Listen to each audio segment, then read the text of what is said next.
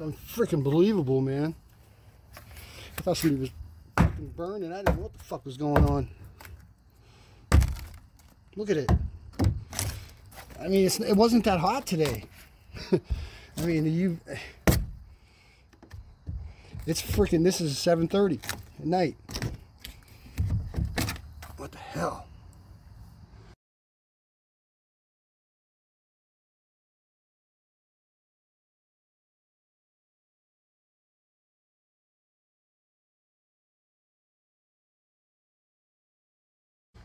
Look at up in the look, just like you say, dude.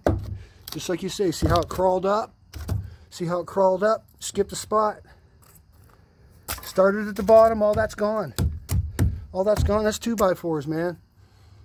Look, it's it skipped. It skipped all that. You know, it wouldn't have skipped that. That's crazy, bro. That's fucking crazy, man. I'm a fucking believer now. Not that I wasn't, but I was just thinking about that shit the other day. Like, man, I've not seen any of that yet. I'm not seen any of that fucking yet. I promise you, I didn't fucking start this fire, dude. I don't need attention like that. Fucking landlord's gonna love it. Look at how it burned out under there. That's where the nails are. See, there's a nail. That's fucking nuts. I mean, there's some foam over there, but I don't fucking... How, look at... We're ready to tear this shed down. There's no electricity that runs to it.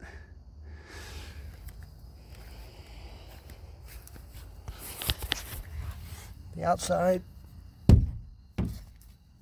Look at it. It's all, it's fucking, I don't know. I just started smoking too. I seen smoke out the front. That's the neighbors are burning tires. I, mean, I really don't know.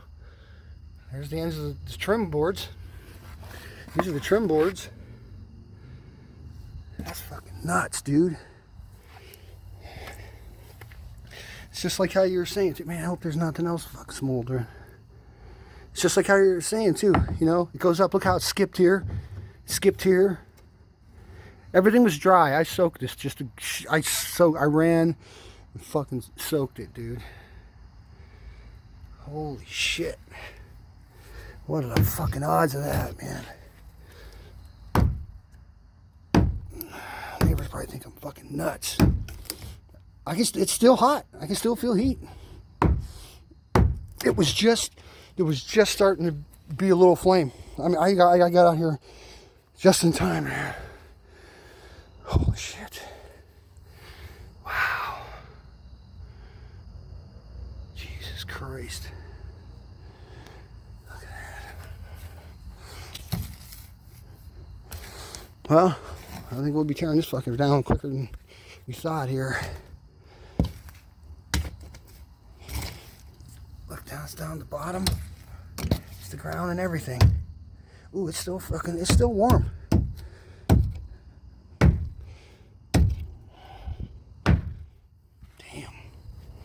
It was getting old. The outside was shot, but there's no electricity that runs to it. There's no electricity, nothing that runs to it. It's just, ah, it's been 10 years.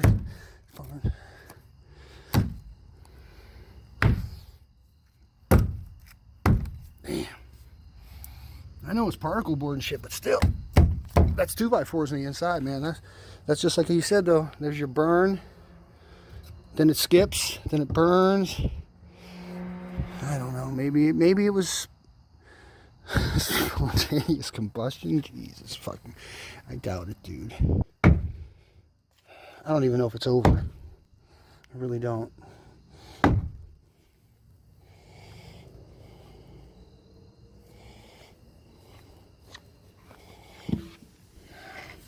Alright, well, I guess I'll post this, send you a comment or something. Maybe you'll check it out. I don't know. After that stupid ball fucking incident. Probably don't trust me, but fucking hey. Guess I better pull the fucking snowblower out of there. Damn. Mean, you see, it's empty. We're getting ready to tear it down. I was going to salvage the 2x4s. That was going to be it. Salvage the 2x4s. You know, fucking yard linear board foot, man. Cost money. Everything else is good. You see, it's not I don't know. I mean, animals drug that fucking foam, foam in here, but still. Right in the corner. Man, that's fucking crazy, dude.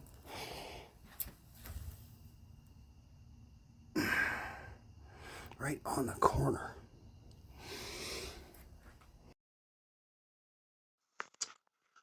Well, there's not much I can add to that. Other than right here, you can kind of see a pretty fine line between the particle board on the right and the 2x4 on the left, and how it just burned one and not the other. You don't get it to the you don't get it to the point where it's 100% charcoal on the bottom couple inches and then nothing above. I don't think this actually combusts into a flame. It sizzles. That's why I've also referred to it as uh, field activated combustion synthesis. I'm having trouble remembering the name of the guy that actually came up with that terminology, field activated combustion synthesis, because it's like it sizzles, like it's in a microwave, without actually combusting into a flame. Here you can see the nail on the bottom part of this board. Here you can see the nail right here that went into the ground right there. And here you get a good still shot. Future reference, hold your camera still. The other way you know he didn't fake this, you can tell he is rattled hard.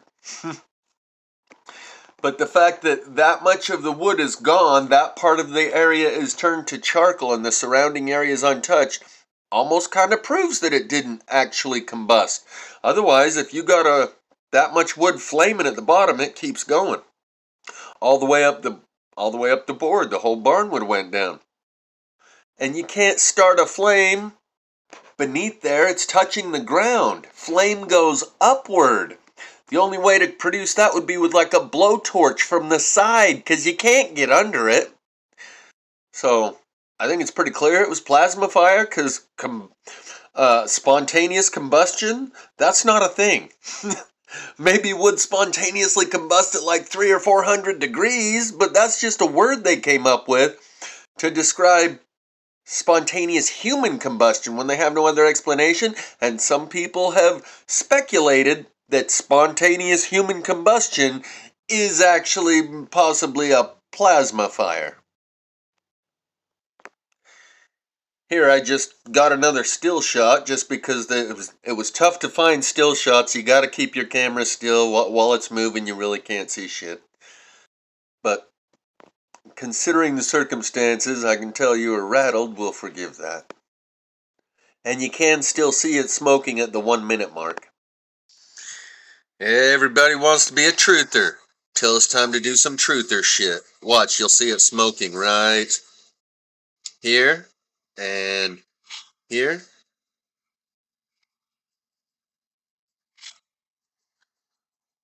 Welcome to the club. You're now a plasmologist. So I'll leave the link in the description to Johnny Looks Overhead channel. You heard him saying something about, you probably don't trust me after that ball thing. One day he let the sound of his own wheels drive him crazy and mistook the tennis ball that he was throwing to his dog for a fast mover flying over his house and he was mistaken. He corrected his mistake and it was an honest mistake.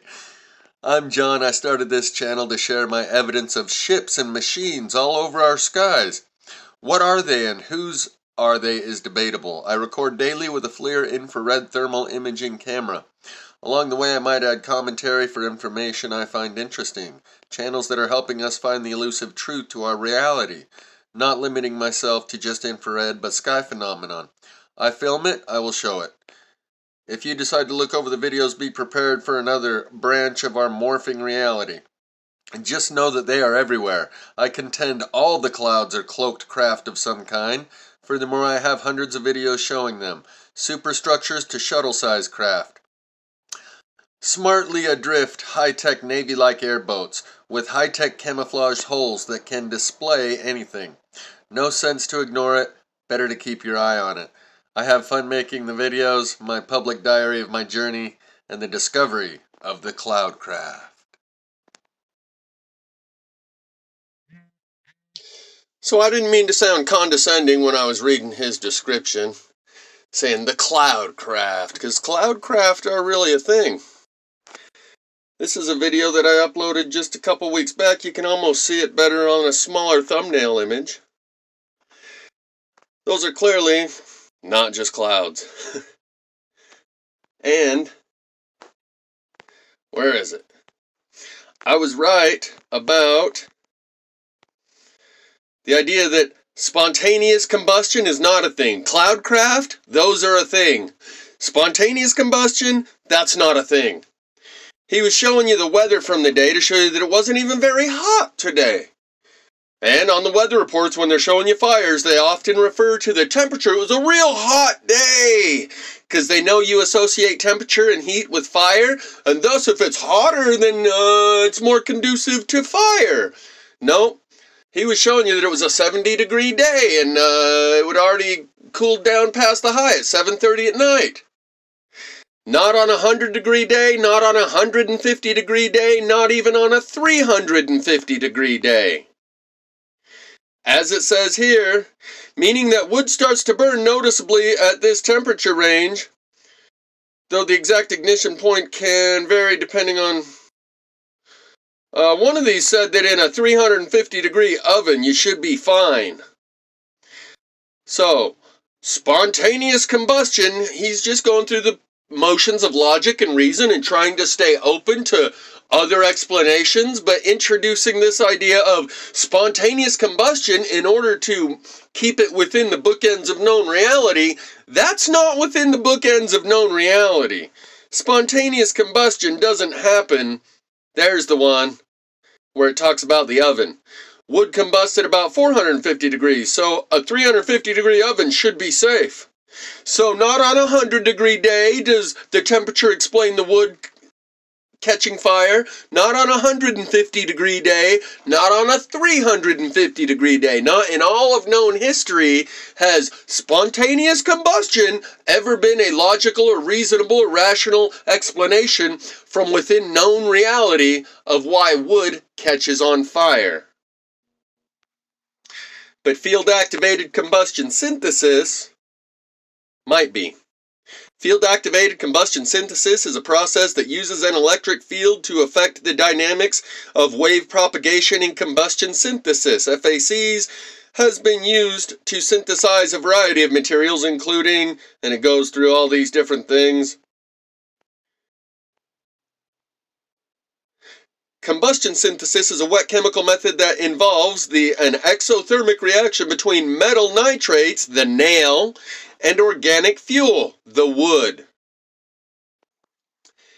And as far as these fast movers, you know how Johnny Looks Overhead was throwing a tennis ball over his roof and thought he caught a, a, fast mover, so he posted it and then I reposted it. And one of my viewers said, Dude, looking at this on my big screen TV, that looks like a tennis ball.